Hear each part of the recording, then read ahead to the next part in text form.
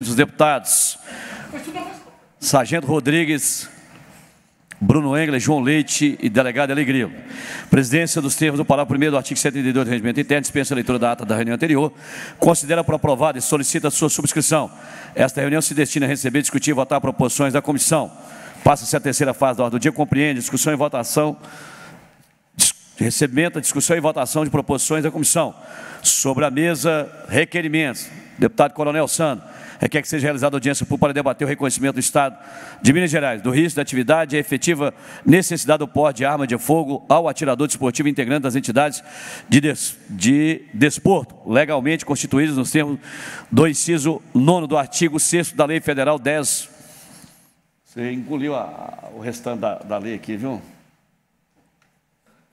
Não é 1086, não.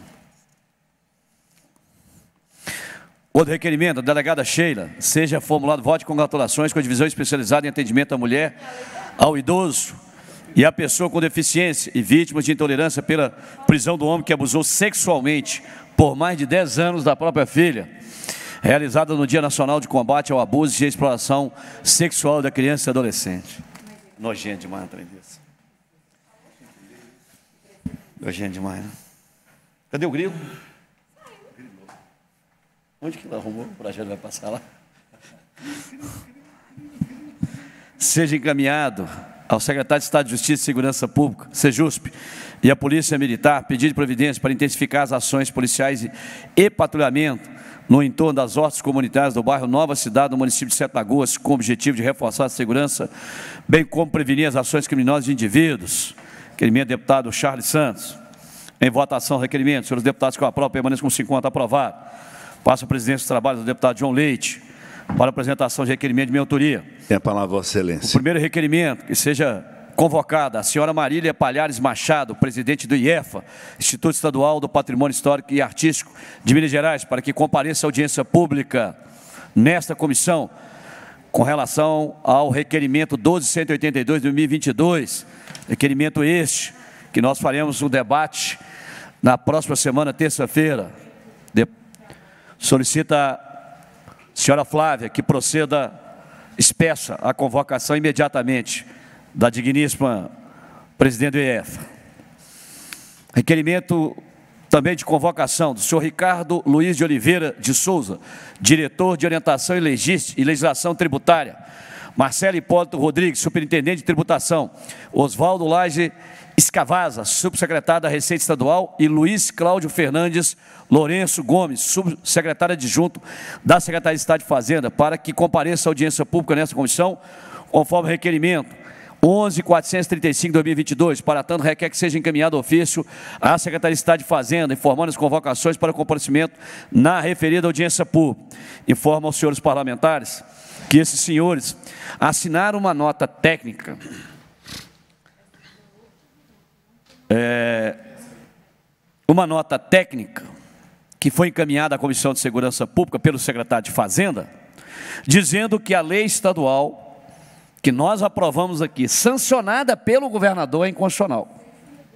Ou seja, deputado Bruno Engler, agora nem mesmo o governador sancionando a lei, nem mesmo sancionando a lei, o governador agora tem técnicos da Fazenda dizendo que a lei é inconstitucional. Que lei é essa? É a lei que prevê a isenção do ICMS na compra de armas e munições por integrantes da segurança pública. Ou seja, o compromisso feito pelo secretário de Fazenda nesta comissão, durante a audiência pública, que teria todo o empenho junto ao CONFAS para celebrar, para resolver o problema, junto ao CONFAS e fazer justiça, deputado Bruno. Por que justiça? Eu dei um exemplo aqui, deputado João Lee, do taxista. A ferramenta de trabalho do taxista é o veículo, é o que ele adquire, com isenção de IPI e ICMS. A ferramenta dele. A ferramenta mais necessária para a atividade das forças de segurança pública é as armas e munições. Então, ao invés de fazer tudo aquilo que ele declarou aqui na comissão, um empenho junto ao CONFAS, junto ao governo do Estado, ele se limitou a responder à Comissão de Segurança Pública, anexando uma nota técnica assinada por esses senhores, dizendo que a lei é inconstitucional, deputado Bruno. Deputado Bruno, uma das coisas que nós aprendemos no curso de Direito, que é a primeira, primeiro controle preventivo de constitucionalidade, é exercido na Comissão de Constituição e Justiça. Quando a lei encaminhada para o governador, deputado João Leite, ele também exerce o controle preventivo de constitucionalidade, porque ela não virou lei ainda, ela é uma proposição de lei. E o veto significa que ele rejeitou, e as razões do veto, ora por vice iniciativa, ora por inconstitucionalidade. O governador sancionou a lei, deputado João Leite. Olha que ponto nós estamos chegando. Então, que esses senhores venham aqui explicar, porque não são eles que têm que emitir isso, deputado Bruno. Não são eles. Não foi nem a AGE que falou, deputado Bruno. Até porque a AGE assessora diretamente o próprio governador. Se a AGE não diz que era inconstitucional e o governador sanciona, não é um subordinado de terceiro, quarto escalão que vai dizer para nós, deputados, a lei, se o governador não quiser cumprir a lei, o governador faça o que ele fez agora recentemente. Vai arguir a inconstitucionalidade ao órgão competente chamado Supremo Tribunal Federal. E não responder da forma que responder a Comissão de Segurança Pública. Senhor presidente, eu queria só. Vossa Excelência tem a palavra. Reforçar a fala de Vossa Excelência. Primeiro, dizer, não só, como Vossa Excelência colocou, que a arma é o instrumento de trabalho do agente de segurança pública, mas que é do interesse do Estado que o agente de segurança pública esteja armado e bem armado, inclusive quando não está de serviço, até porque a nossa legislação prevê que, mesmo não estando em serviço, o policial é garantidor. Então, em vendo uma prática delituosa, tem o dever de agir. Agora, o Estado manda agir, mas não dá nem o benefício para o cara poder comprar uma arma para ele agir, é uma coisa realmente absurda. Agora, me incomoda muito essa resposta com a nota técnica, primeiro, porque, como Vossa Excelência bem colocou, o governador sancionou. Será que os técnicos não tiveram tempo de alertar o governador antes dele sancionar essa matéria? E de uma profunda covardia se esconder atrás de uma nota técnica. E volto a reiterar, como Vossa Excelência colocou, se o governo entende que uma matéria é inconstitucional, cabe ao governo e à justiça derrubar essa matéria. Não descumprir de ofício. E não é a primeira vez que isso ocorre. Eu me lembro que quando nós tínhamos à frente da pasta o antigo secretário de Justiça e Segurança Pública, general Mário Araújo, ele se recusava a incluir o porte de arma do agente sócio-educativo na carteira funcional, porque os técnicos diziam que era inconstitucional. Quer dizer, ele tem um entendimento, então ele descumpre a lei, como se essa Assembleia nada valesse, ao invés de ir ao órgão competente buscar a derrubada da lei, se ele entende que é inconstitucional. Comportamento vexatório, reiterado por parte do governo de Minas, e eu aqui faço a cobrança de público para que mudem esse tipo de posicionamento. Os técnicos têm todo o direito de ter a opinião deles, como nós temos a nossa. Mas, se há um incômodo com a lei, que busquem o foro competente, que é o Poder Judiciário, enquanto a lei estiver em vigor, cumpra-se, especialmente uma lei que foi sancionada por este governador. Se os técnicos do governo dizem que a lei sancionada é inconstitucional, é um atestado de incompetência. É colocar o nariz de palhaço e dizer: somos patetas, estamos sancionando leis inconstitucionais. Deputado João Lívio, Vossa Excelência tem a palavra. Em, em votação os requerimentos, cada um por sua vez. Os senhores deputados que o aprovam permaneçam como se, os aprovam permaneçam como se encontram.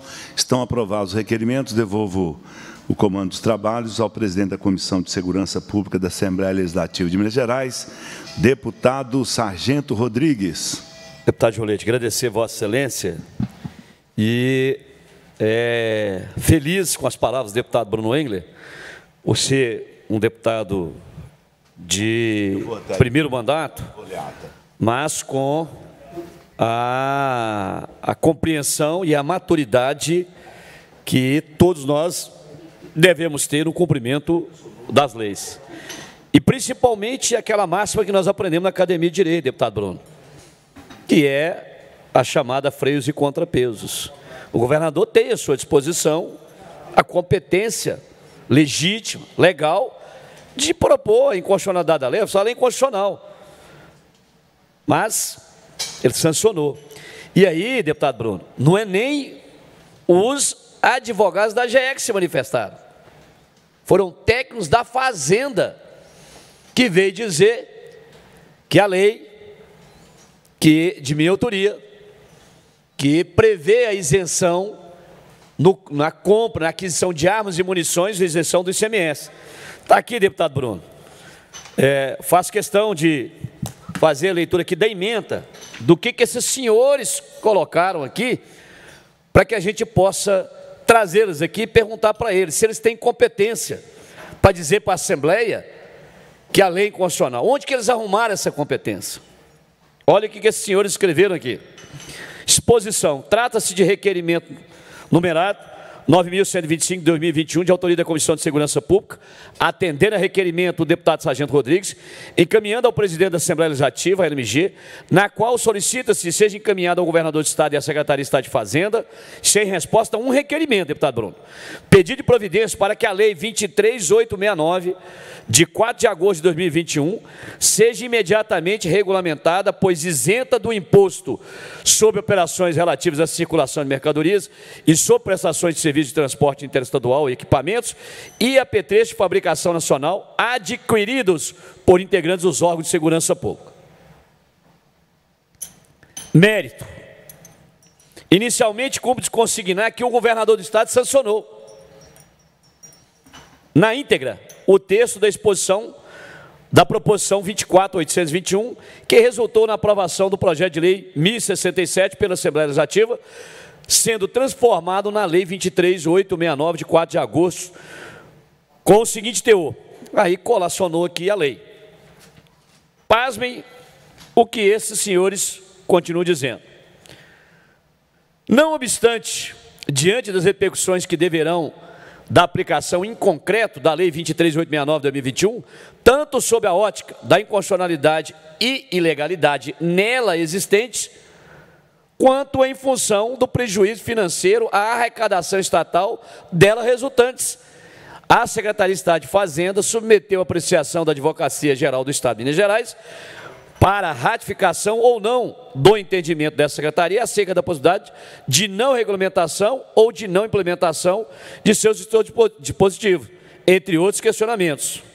Outro sim, solicitou na eventualidade de não ratificação do entendimento da CEF que a GE emita parecer jurídico orientativo sobre quais procedimentos poderão ou deverão ser adotados em face da Lei 23.869 de 2021, sendo certo que no momento de elaboração da presente nota técnica ainda não há manifestação formal do órgão consultado acerca da matéria. E aqui continua 14 páginas, deputado Bruno, para dizer que a nossa lei é inconstitucional. Todos os fatos, todo a, a, a, o restante do texto aqui é para dizer. E assinam o documento os senhores que acabaram de ser convocados. Ricardo Luiz de Oliveira Souza, diretor da Fazenda, Secretaria da Fazenda. Marcelo Hipólito Rodrigues, superintendente. Oswaldo Lage Escavaza, subsecretário da Receita Estadual. Luiz Cláudio Fernandes Lourenço Gomes, secretário de Estado de Adjunto da Fazenda. Ou seja, o secretário de Fazenda mandou uma nota técnica respondendo à comissão para eles dizer que a lei é constitucional. A lei que o governador sancionou. É triste a gente deparar com situação dessa. Estão todos os quatro convocados, conforme o requerimento, nós marcaremos a audiência e avisaremos os demais membros da comissão. A, a administração será onde? O requerimento já foi? O João? Já foi tudo? Foi já. É, porque aqui nós estamos sem coro.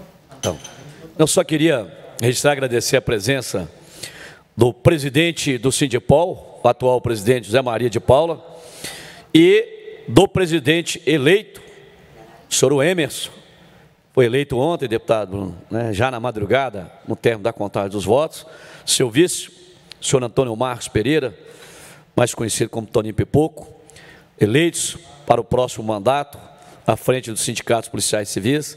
Está a agradecer a presença aqui do nosso querido irmão Elber Dornas, perito criminal da Polícia Civil, e também do senhor Vladimir Dantas, que é policial penal, que estão acompanhando os trabalhos aqui da comissão e que certamente vão nos acompanhar lá na Comissão de Administração Pública agora, para a votação dos pareceres. Ainda bem que eu tive o testemunho do, do parecer votado da Comissão de Segurança Pública, não só o testemunho, o voto do acordo que foi celebrado, inclusive com o chefe da Polícia Civil, no parecer da Comissão de Segurança Pública, que, estamos sabendo, está sofrendo diversas alterações lá na Comissão de Administração Pública. Como sou suplente lá, e certamente irei votar a matéria, deixarei isso registrado. Não vou, obviamente, atrapalhar a tramitação da matéria, mas faço questão de deixar registrado que o projeto retornará à Comissão de Segurança Pública em segundo turno. Cumprida a finalidade da reunião, a presidência agradece a presença dos parlamentares, convoca os membros para a próxima reunião extraordinária, dia 7 do 6, às 10 horas, para debater a concessão da licença ambiental para mineração na Serra do Curral, a empresa Taquaril Mineração, empresa do mesmo grupo da empresa Covan, a mesma empresa que construiu um viaduto ali na Pedro I e o viaduto caiu e matou, é, não sei se eu, se eu estou equivocado, uma ou duas pessoas né, naquele episódio que o viaduto desabou. Ah, com a reunião ordinária da Câmara de Atividade Minerária do Conselho Estadual de Política Ambiental, COPAN, em 29 de abril de 2022, para a qual sejam convocados o secretário de Estado de Desenvolvimento Econômico e a secretária de Estado de Meio Ambiente, é, Desenvolvimento Sustentável, e agora também a presidente do IEFA, que tomamos conhecimento, é prima do dono da Tamisa, a empresa que está agora ocupando o cargo do IEFA, do Instituto Estadual Artigo, é, Cultural e Defesa do Patrimônio Histórico Cultural do Estado de Minas Gerais. Então, pedi à senhora Flávia que espeça o, o ofício de convocação, porque ela vai comparecer a esta audiência. Estão encerrados os trabalhos. Muito obrigado.